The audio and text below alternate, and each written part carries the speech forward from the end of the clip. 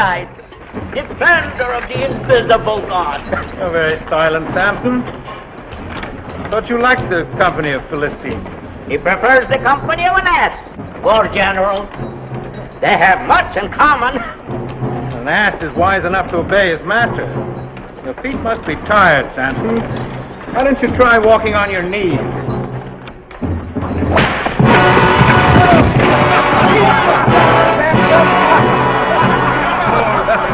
Stand all! Stand all! Water bearers to the ranks.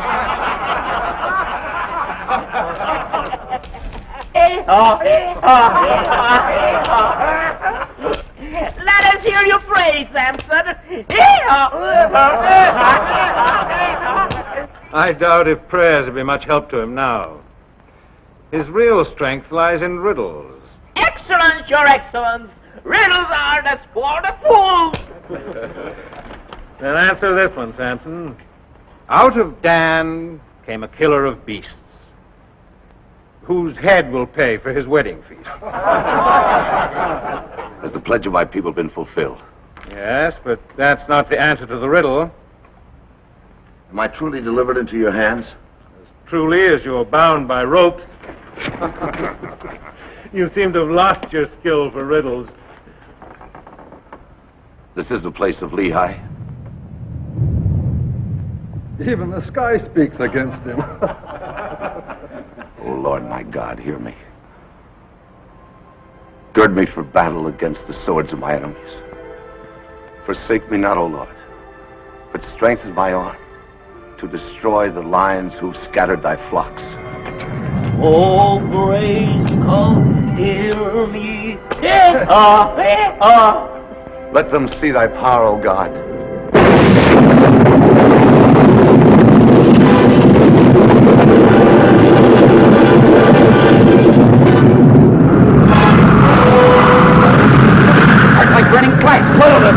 Like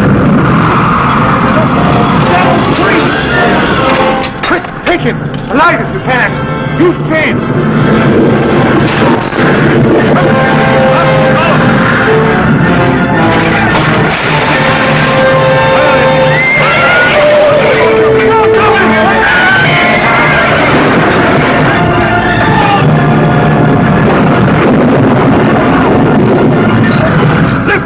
Lift it, you fool!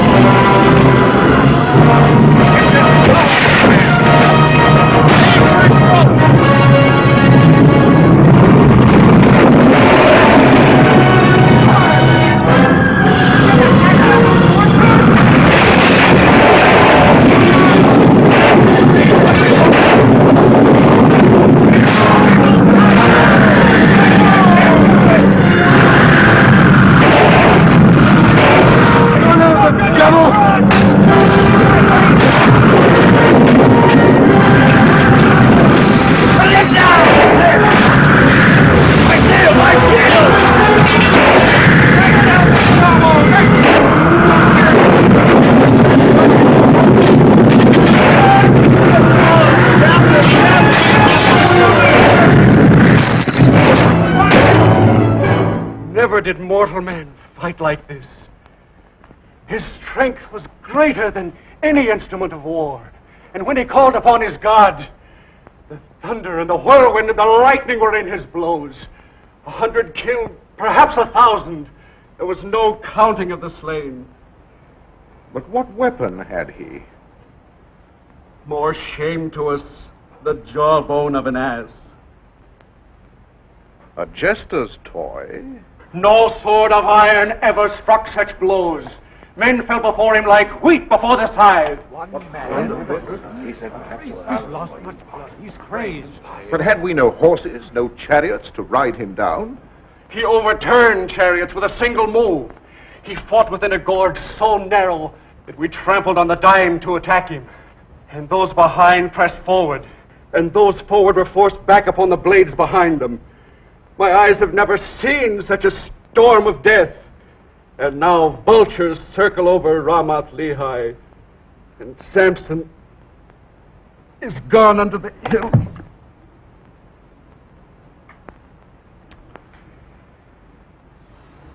take this fool and tend his wounds.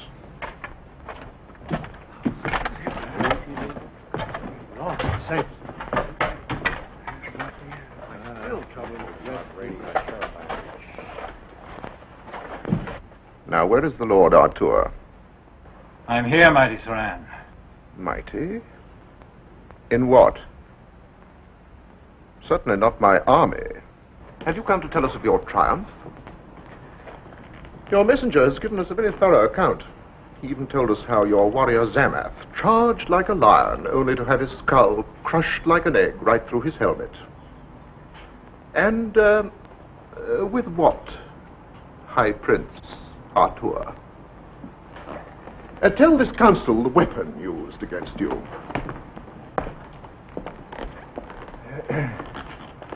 well, tell them. Speak. The jawbone of an ass. Lord Ahtur, military governor of Dan, prince of Philistia, army of armies, beaten with the jawbone of an ass. Our armies that scattered the Hittites, that swept the Amorites before them, that cut through Canaan to conquer as far as the circle of the earth, beaten with the jawbone of an ass. Are you a soldier or a clown commanding fools? What is the number of all the forces at our command, Lord Sharif? Of chariots, 600 heavy, 1,000 light. Uh, 500 dromedaries of the swiftest. 2,000 horsemen without the palace guard. 3,000 heavy armored spearmen of the elite. 8,000 Yes, yes, and we're beaten by the jawbone of an ass. Am I, lord of the five cities, to be laughed at before the world? Before my subject peoples? Because a Danite herdsman routs my armies? Don't set that down, you fool. Burns my crops, pillages caravans at will, yes, even carries away the gates of my city. I asked for 10,000 men to crush these Danites for all time. Instead, you gave me tax collectors. The taxes delivered Samson into your hands, didn't they? It was you who couldn't hold him. This Samson has some unknown power, some, some secret that gives him superhuman strength. No man can stand against him. Perhaps he'll fall before a woman.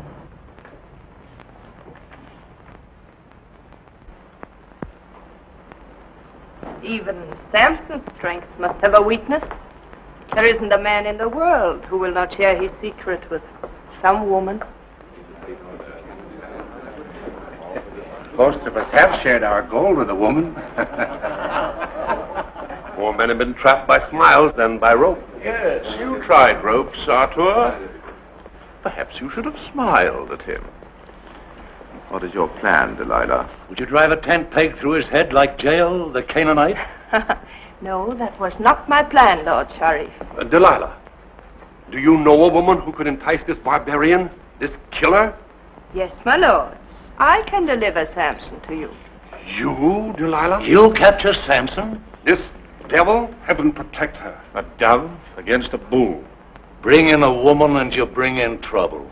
Such devotion is very touching. But what would you gain from his capture? My lord's favor. Well, you'll have that. Is that all you want? Uh, no. Name your price and you shall have it. Perhaps some little bauble in the street of jewelers. You're very generous. Tell me, Saran, what value did you set upon your last caravan Samson raided near Gath? Eleven hundred pieces of silver. Here is the reckoning. Then that is my price. Eleven hundred pieces of silver. Eleven hundred? Your price is high. A pharaoh's ransom for a shepherd? Better silver than blood. We'll pay it. Eleven hundred pieces of silver. Uh, from each of you. Why? Delilah robbed us twice Samson. Tried to Eleven hundred pieces. I know. Each of us. Calm yourselves. You drive a sharp bargain, Delilah.